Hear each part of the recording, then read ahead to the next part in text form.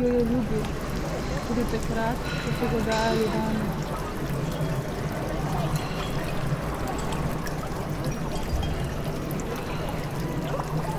Magdalena. Na drugi strani dotika smrt. Tako nežno se z njo zavija v to oluto, kot bi razpenjala bela jadra na barko,